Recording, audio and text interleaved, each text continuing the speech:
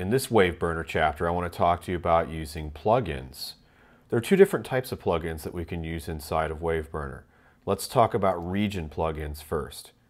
Each one of these audio files here on the timeline is considered a region. So for example, if we wanted to apply an equalizer and compression only to track 2 here on our timeline, if we select this region or track, and then we go to region plugins, if we click and hold down and go to add plugin, notice that we have two different types. We have the Apple audio units, and if we click and hold down on those, you can see that we have different types of effects here.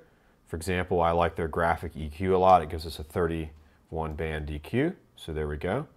And then if we click and hold down on this again, we can go to the WaveBurner plugins, which are identical to the plugins that you use inside of Logic. So for example, if we want to go to Dynamics and I wanted to add a little bit of compression, let's go to Compressor. And now we've opened up these two different effects. Now, how do we work with these different effects? Turn them on and off, for example, and delete them. Let's move some of this stuff out of the way. If we come over here, you can see the check marks next to the different plugins, the EQ and the compression. So for example, if I wanted to temporarily turn off the compressor, I just uncheck it. Same thing for the graphic EQ. If I want to delete the plugin, I just select it and press the delete key. So for example, if I touch this region and I come here and I go to WaveBurner and I add a compressor, this compressor is only live on this region when I touch the other region, notice that the compressor goes away. If I touch this region, the compressor comes back. Okay, so now let's go ahead and just delete that and let's talk about mix plugins.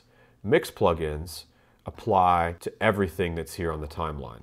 So it's just like a regular audio mixer. You know, if we're going to apply a, uh, a, reverb or a gain boost, a flanger, an EQ to the master output, that's what the mix plugins do. Imagine this is your master output and whatever we put on mix plugins is going to apply itself to whatever the master output is. If we want to use WaveBurner plugins, once again, we want to say apply a limiter to the master out, we can do that here. Notice under Mix Plugins we have the plugin chain.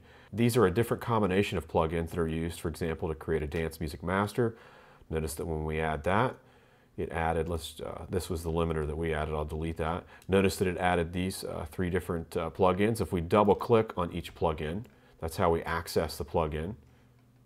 Double click, double click. So you can see that's how we access the different plugins inside of WaveBurner that way.